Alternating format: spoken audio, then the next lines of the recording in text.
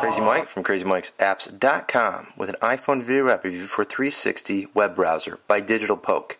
This app costs 99 cents. It's probably one of the best browser apps I've seen for the iPhone to date. Here, first of all, let's just walk through it from top to bottom. You have your, you know, your your uh, your bar for the address or your your area for the address. You have your search box for Google. Very nice. Then you have your next um, navigation area, which goes and scrolls left to right, and those are tabs. So I have Google or iGoogle. I got AOL News, got my Twitter open, and we can refresh that. Maybe it'll bring me back to. Let's go into Crazy Mike's apps. So it should open me up to my regular. Yeah, bam, right there.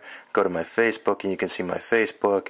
You can have as many as you want, uh, and that's why this app rocks for me. It gives you a kind of like a real web browser, traditional laptop or you know desktop browser experience.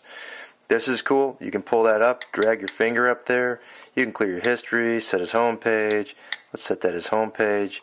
Says yes, that's set. Go back up there. You can, uh, what's this? Enable full screen, which now you got full screen mode. That'll take you to the pink version or the green. No, actually, it just gives you more options. Look at that. All this stuff you can do. I can't even tell you how much. Add a tab, refresh, close tab, navigate tabs. It's crazy. There's so much in this app that I'm not going to be able to to we'll just set that back and we'll go back to the app. There's so much in here I'm not going to be able to do it in one video app review. So you're going to have to check it out. Here are the uh, settings that pop up at the bottom from that navigation area.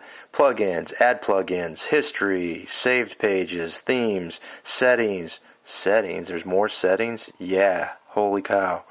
Look at all this stuff you can do. Clear cookies. There's so much in this app, it's almost insane.